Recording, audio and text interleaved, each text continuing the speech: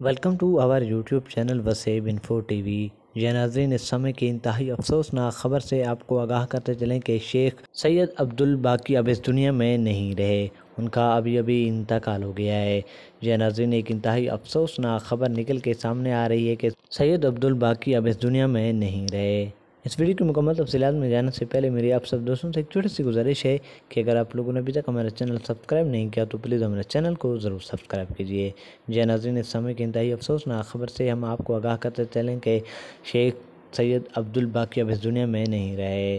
Social media report के मुताबिक वो काफ़ी अरसे से थे। उनका एक निजी अस्पताल में इलाज चल रहा था, लेकिन अफसोस, आज वो इस दुनिया पानी को छोड़कर अलविदा कह गए हैं। हम दुआ गुआ हैं कि अल्लाह ताला उनको दोस्त में अला मकाम बता फरमाए। दोस्तों, आप भी उनके लिए कमेंट सेक्शन में आमीन लिखना ना भूलिए। मिलते हैं नेक्स्ट वीडियो में, तब तक दीजिए इजाज़त।